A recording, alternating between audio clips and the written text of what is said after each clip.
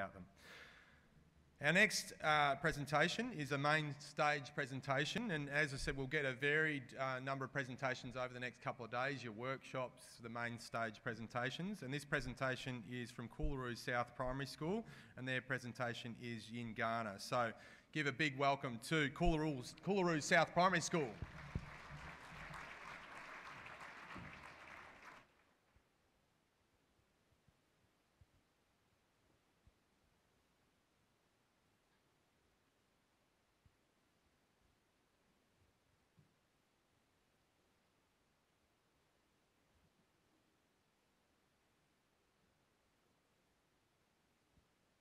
Hi everyone.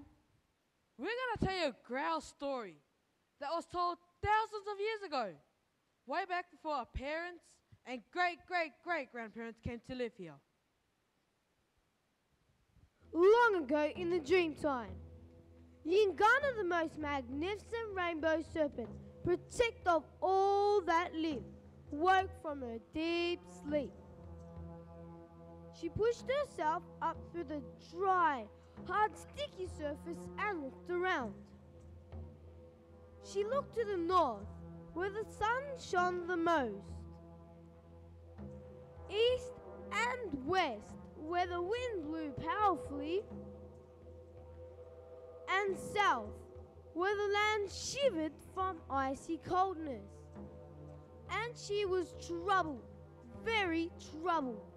My land is barren and flat. There's no water, nor plants, nor animals. Everything is sleeping. I need to find Tiddalik and wake him up. And so Yingarna went in search for Tiddalik, the greediest, fattest frog who had taken all the water for himself. Tiddalik, Tiddalik, where are you sleeping? She meandered across the land, traveling north, where the sun shone the most, east and west, where the wind blew powerfully, and south, where the land shivered from icy coldness. And at night, she rested her weary body and kept warm by curling herself up. Tiddalik, Tiddalik, where are you sleeping? After many days and nights spent slithering across the land, there was still no sign of Tiddalik. But one night, when she had given up any hope of finding Tiddalik, she woke from a deep dream and eyed the many tracks she had left behind. And there, right amongst the shallow path, she spied familiar prints. No, no, no. Definitely not Tiddaliks. Feet are way too narrow.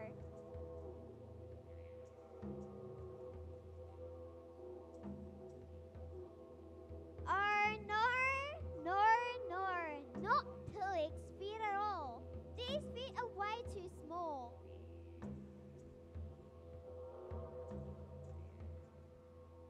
Aha!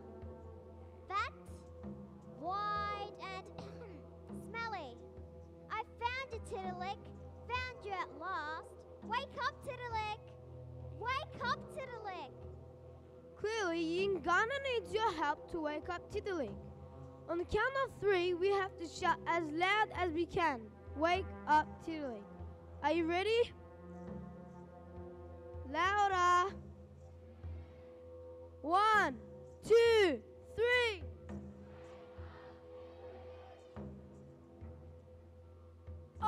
Gosh, Tiddalik is very sound asleep. We'll need to shout it louder. Ready? One, two, three. And the tracks became rivers and creeks and billabongs and lakes and oceans. And the plants woke from their deep sleep and started to grow. And the water animals, the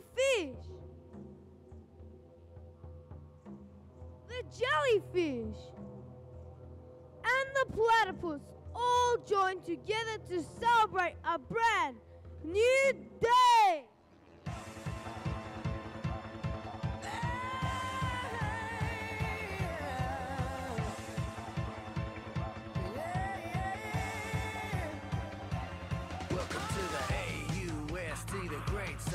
We stand on sacred ground and keep you bumping to these native sounds. From the land of the kangaroo, gonna show you how we ride. We've been a singing and a dancing since the dawn of time. So jump up on this ride while we fly like a spear. Like the waters in the Great Barrier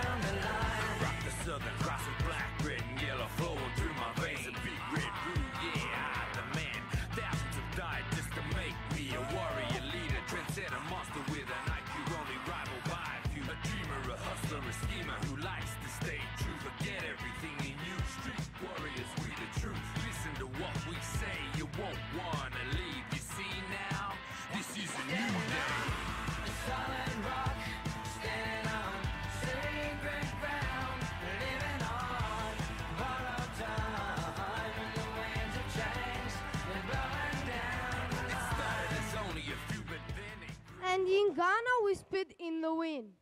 And just like in the Dreamtime stories, that's been passed from generations to generations. I invite Emily Rayner to collect water from my waterhole. Accept this as a symbolic pledge to teach us to care and protect our precious waterways.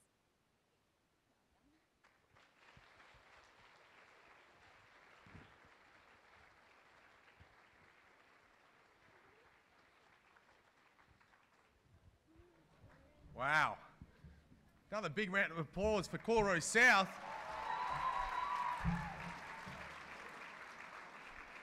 Just saw a giant Nemo coming past me there. That was fantastic. Absolutely fantastic. I hope we're going to see a few of those dance moves at the dinner tonight. Wonderful stuff. As, um, as we know with Kids Teaching Kids, it's about telling the story in as many different ways as you can, and, and dance and drama and, and poetry and rap and all these sorts of different avenues of storytelling are, are just as important as you know, standing up the front of the room and, and, and talking to a subject. In fact, they tend to, to get us excited and move our hearts more, and that's why they're so important. Well, that's got a bit of energy going, I can tell, that's for sure.